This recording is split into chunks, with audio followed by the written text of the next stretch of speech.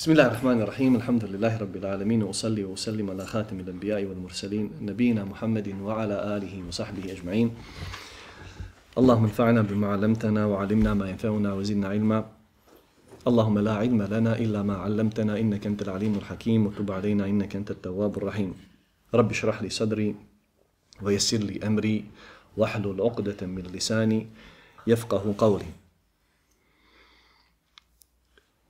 Spomenuli smo da je predmet zbog čega je čovjeku nešto obavezno. Zašto ga Allah zadužuje bilo čim? To da ima sposobnost spoznaje razlučivanja stvari dobra od zla, lošeg od dobrog, onoga što mu se kaže i onoga što vidi od stvari oko, oko njega. I to smo rekli da se u šerijatu naziva razumom. I iako tema možda nije onako zanimljiva kada se spomeni njen naslov, veoma je važna jer je to kuransko pitanje. A ne postoji kuransko pitanje, a da nije važno. Iako se važnost kuranskih pitanja razlikuje. Kao što se razlikuje važnost i vrijednost Allahovog govora samog Kur'ana.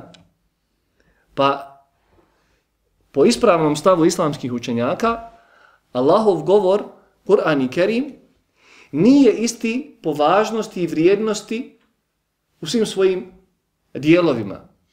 I zato poslanik Ali Suratu Sram, kada je Ubej ibn Kaaba pitao za najbolji ajet u Kur'anu.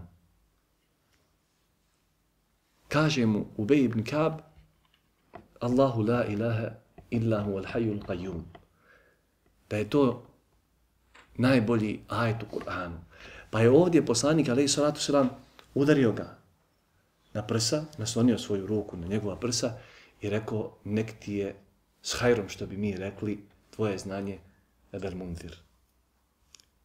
Pa je potvrdio poslanik alejhi salatu selam da ima nešto što je bolje u Kur'anu od ostalog dijela Kur'ana. Isto tako je rekao za suru El-Ihlas Kul hu Allahu ahad, ta'adilu thuluth al-Qur'an. Kul hu Allahu ahad vrijedi kao trećina Kur'ana. Vrijedi kao trećina Kur'ana u odnosu na čitav Kur'an. I to su argumenti ili dokazi zašto i kako neki dio Kur'ana je bolji od drugog dijela, iako je sav čisto ono što bismo rekli vrijednost, čista vrijednost i blagodat umetu Muhammeda alaihi salatu wasalam. Zatim, kada Allah jalla jalaluhu govori o razumu, on to spominje na različite načine. Prije svega, Allah uzvišeni spominje da je on Kur'an objavio da bi se razmišljalo i razumjelo. Pa kaže na početku sure Jusuf Elif lam ra tilke ajatul kitabil mubin inna enzelnahu Kur'anan arabijal la'allakum ta'qilun. Elif lam ra ovo su ajeti knjige jasne, mi smo ga objavili kao Kur'an na arapskom jeziku da biste vi razumjeli. Pa je ovdje korišten, upotrijebljen izraz razumijevanja o kojem mi sada govorimo. Slično tome u suri Zuhruf uzvišeni kaže Hamim wal kitab al mubin inna ja'alnahu qur'anan arabiyyan la'allakum ta'qilun mi smo ga učinili objavili Kur'anom na arapskom jeziku da biste vi razumjeli. Pa je ovaj razum nešto što Allah Đelešanu kroz ajete kur'anske želi da mi shvatimo uputu i da primijenimo tu uputu. I zato što je važan razum važno ispravno razumijevanje stvari, moramo da znamo da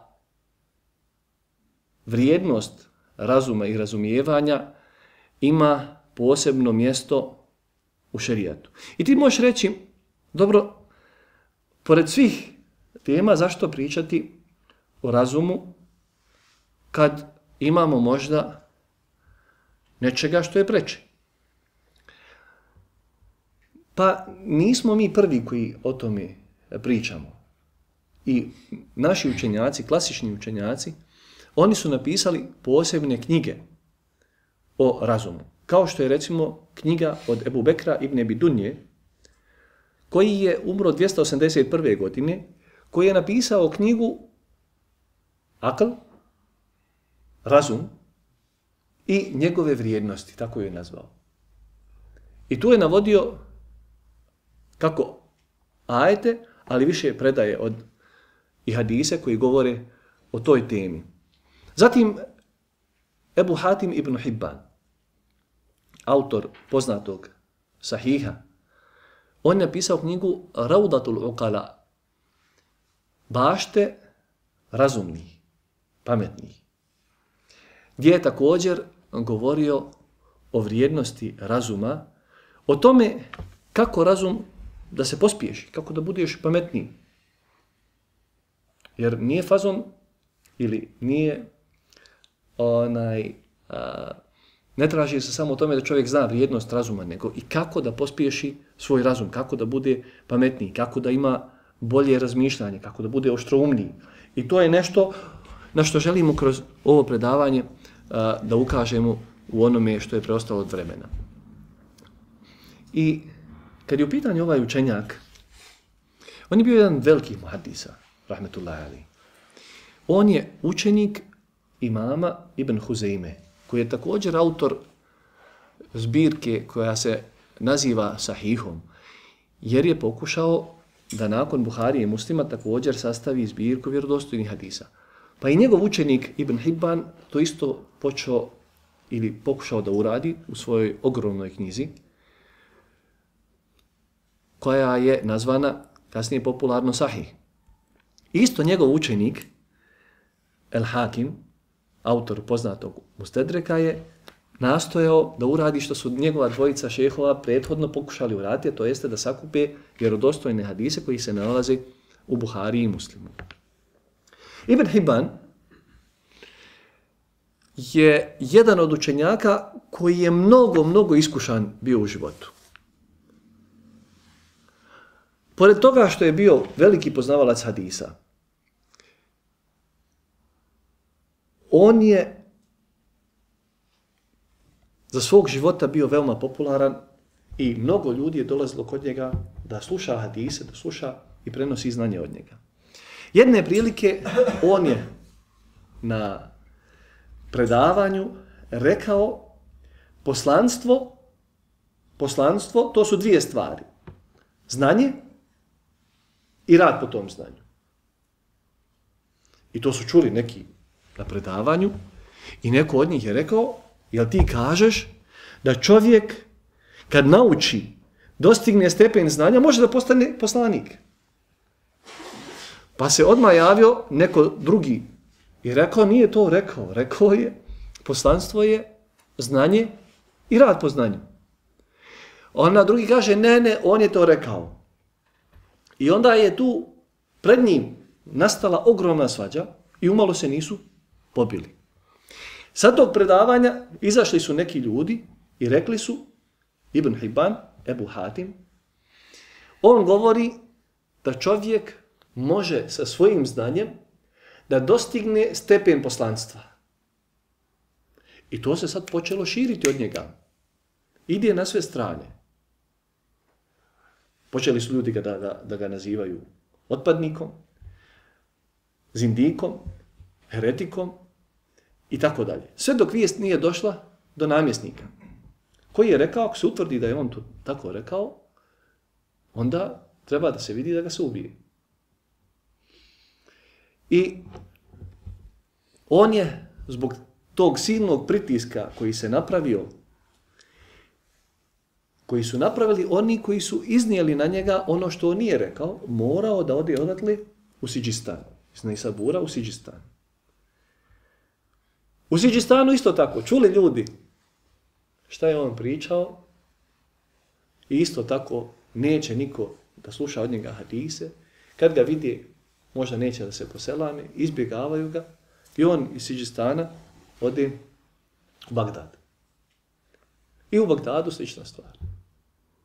Dok se nije vratio u Sibt, svoje rodno mjesto, gdje je na kraju i umro. Pojenta je da kad se o nečemu priča među ljudima, a bilo je frakcija koje su to govorile za njegovo vrijeme, kao što je jedan veliki muhadis koji je zbog toga proglašen nevjernikom, a on je zadržavao stav da su evlije bolji od, od poslanika. Zbog toga je protjeran i proglašen je e, heretikom, pa je bilo povoda za ljude da razmišljaju o tome što se reklo. I zato, draga braćo, uvijek naglašavamo. Kad se priča o nekim temama, ako ti nije jasno, živ bio, provjeri tvoje razumijevanje onoga što je rečeno. Je li onako kako si ti shvatio ili nije? Jer, kaže, napiše status na Facebooku, a napisao ga kao odgovor nekim, nekome s kim, s kim je malo prije razgovarao. I nađe se u tome još 50 ljudi u onome što je on napisao. I onda se javlja, isto ti na mene mislio. I jesi to ti mislio na onog. I zato, ako hoćeš da budeš pravedan, da budeš pozitivan, da pozitivno utičeš na druge ljude, nikada, ama baš nikada, nemoj stvari koje su na tebe ostavile utisak danas kad si razgovarao s nekim ili kad se s nekim verbalno zakačio, da to stavljaš kao odraz tvog stava i da pakuješ to u kuransko-hadijske tekstove ili izrake izjave učenjaka. Nego ostavi. Ostavi dok se strasti ne smire, dok ljutnja ne prođe. Pa onda, onda vidi da li ćeš o tome pričat, da te neko ne bi shvatio da na njega misliš. Pa je ovo, draga braćo, a, tema a, koja je koja se predavala važnost, a vi znate da su do dan danas učenjaci pisali dijela o tome, a jedan od najpoznatijih učenjaka koji je posebno govorio o razumu i objavi je šejhul Islam ibn Taymije al-Harrani Ahmed ibn Abdussalam rahmetullahi alaih koji je napisao knjigu Razum odnosno uh, opovrgavanje ili osporavanje da ima između razuma i objave kontradiktornosti. I kad smo kod kontradiktornosti, to je jedna od stvari na koju podstiče Kur'an i hadisi Allahov poslanika, ali salatu wasalam, jer Allah kaže Efela je tedebberun al Kur'an, zašto oni ne razmisle o Kur'anu? Lau kane min indi gajri Allahi, la vođadu fihi ihtilafen kathira on da je od nekoga drugog a ne od Allaha našli bi mnogobrojne kontradiktornosti u njemu pa jedan od pokazatelja ispravnosti objave jeste da nema kontradiktornosti a jedan od načina da ne budeš ti kontradiktoran u svom životu u svojim stavovima jeste da mnogo razmišljaš u Kur'anu i kur'anskim ajetima. I iako su postavili od prvog osnovne da naučiš matematiku ili kasnije u srednjoj školi da naučiš logiku. I to mi je slično.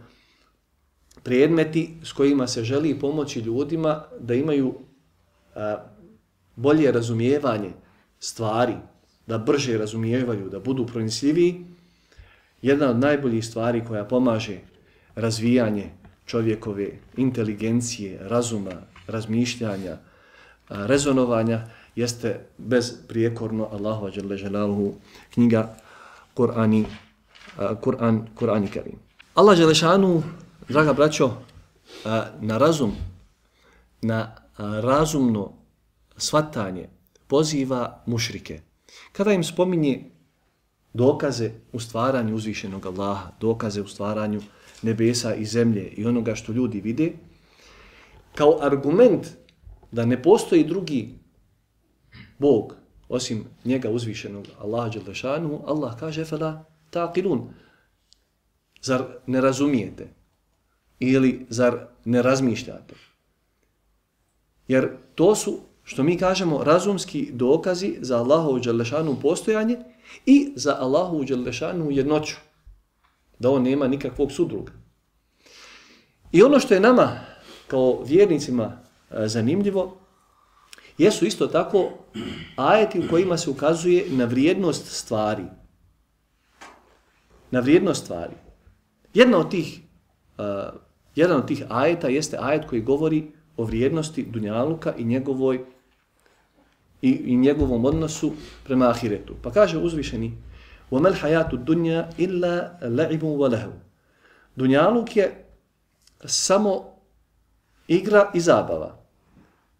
وَلَا الدَّارُ الْآخِرَةُ خَيْرٌ لِلَّذِينَ يَتَّقُونَ أَفَلَا تَعْقِلُونَ A kuća na onom svijetu to je bolje za one koji su bogobojazni. Pa zašto ne razumijete? Pa je ovdje gospodar uporedio život na Dunjaluku sa onim što je pripremljeno bogobojaznim na Ahiretu i pozvao ih na razum, da razumiju da je jedno mnogo vrednije od drugog. I kada Allah kaže Dunjaluk je samo igra i zabava. Ili la'ib, igra, wa lahu. Zabava, razumno da. Razlika između igre i zabave jeste, kažu učenjaci, da igra ima pravila. Kao što futbal ima pravila. Kao što poker ima pravila. Kao što domino, domine imaju pravila. Svaka igra ima pravila. Je tako? A razumno da nema pravila. To je jedno tumačenje. I ovim se ukazuje na pogubnost i štetnost jednog i drugog. Drugo tumačenje jeste da je igra ono što čovjek radi svojim jezikom i rukama, a zabava ono što čovjek radi svojim mislima, o čemu razmišlja, u čemu nema koristi, kao što je recimo razonoda da čovjek gleda nešto iz razonode, nema koristi nikakve, samo provodi svoje vrijeme da mu prođe. Zatim uzvišeni Allah kaže Ete'murunen nase bil birr wa tensevne anfusakum wa entum tetrunel kitab efelata aqilun Zar da ljudima naređujete dobro, a sebe da zaboravljate, dok vi čitate knjigu, Koran, ili neku drugu, kaže, zar niste razumni? To jeste, nije razumno da čovjek ljudima naređuje nešto, a istovremeno dok on zna da to je dobro, ne radi, pa ga na ovaj način Allah Želešanu vraća, kao što, je ovdje, kao što se ovdje obraća ehli kitabijama, vraća ih i želi da ih vrati na ispravne rezone i na njihovo ostavljanje, njihove oholosti i neprihvatanja, neprihvatanja istine koja je došla sa poslanikom Muhammedom sallallahu alihi wa sallam.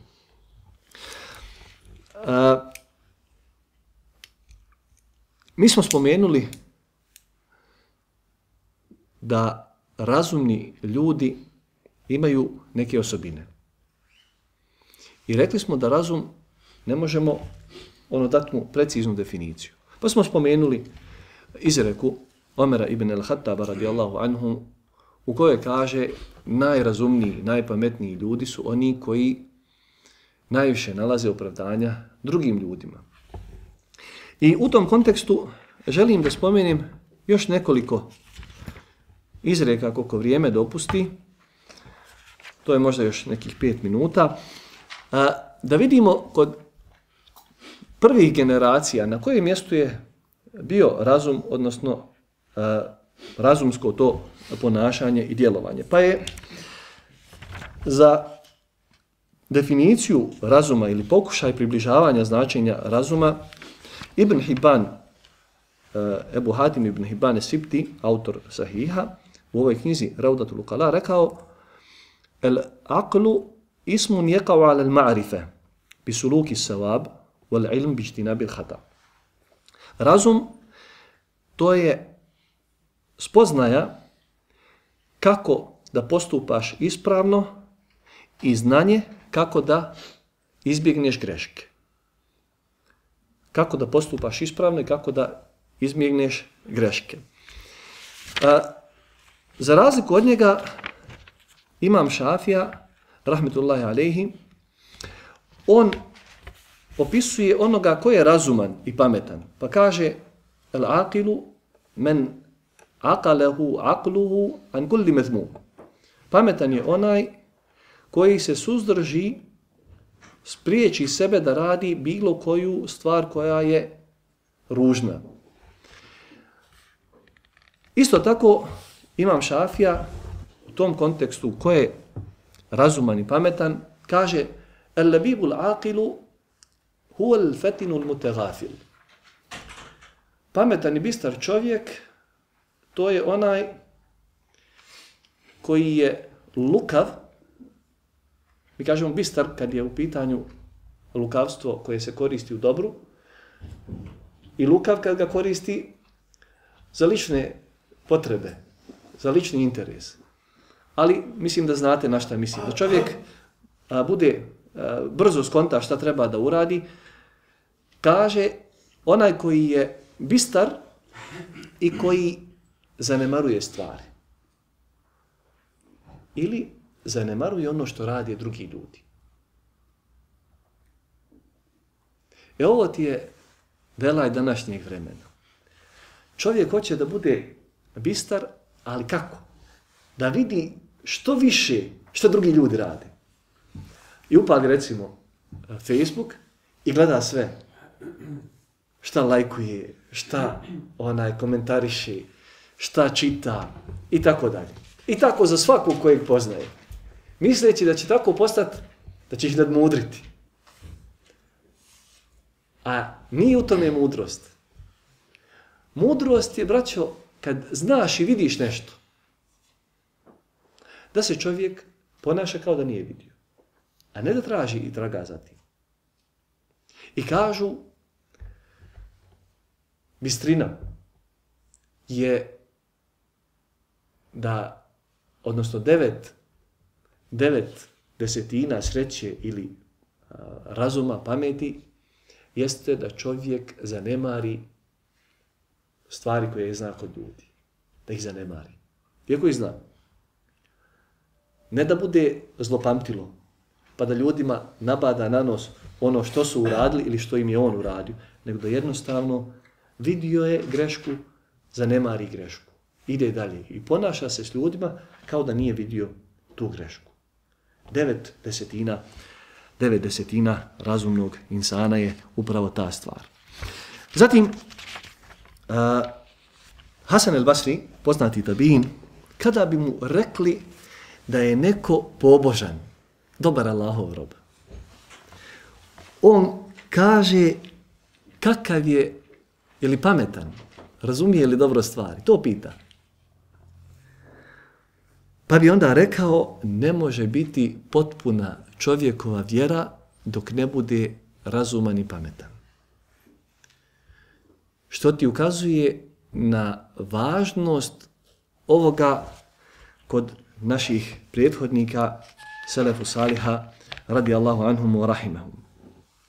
I e, za kraj da spomenemo ono što je rekao imam Mavrdi u svojoj knjizi Edebu Dunja u Din vidio sam na Korzu da je knjiga prevedena, a jedna je od najvrednijih knjiga. I neki moji šehovi, jedan od mojih šehova, on kaže, ja imam sve, sva izdanja te knjige. Sva izdanja. Zato što uvijek tu knjigu, kaže, nosim sa sobom na put. Tu knjigu i Fekul Luga.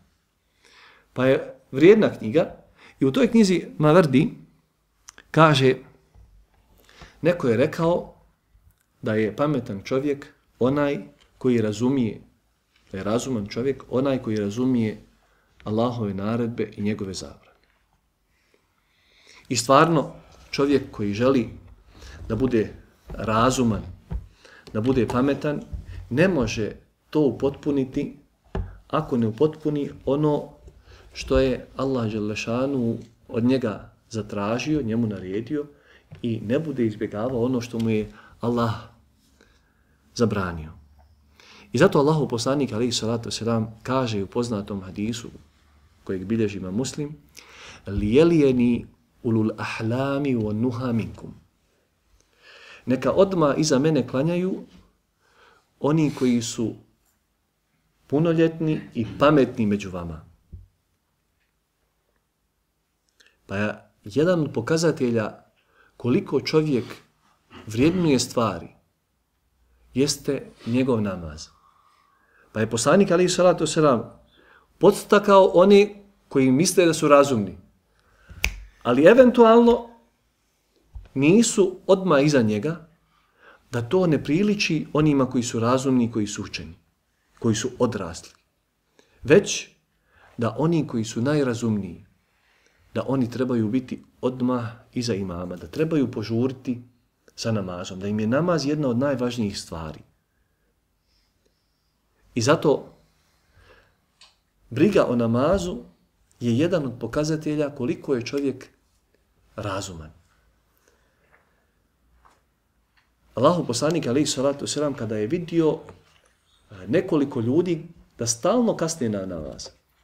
Stalno kasne na namaz. Kaže im, požurite.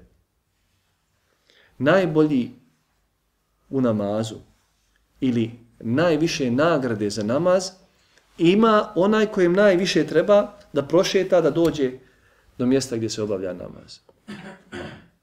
A zatim kaže وَلَا يَزَالُ الرَّجُلُ يَتَأَخَّرُ حَتَّى يُأَخِّرَهُ اللَّهُ Čovjek će stalno kasniti sve dok ga Allah ne unazadi.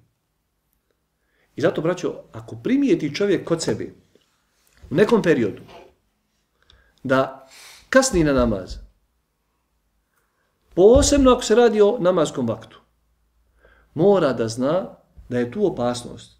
Mora se odma vratiti. Sve ostale stvari koje radiš, koje te okupiraju, zapostavi dok ne urediš ponovo namaz.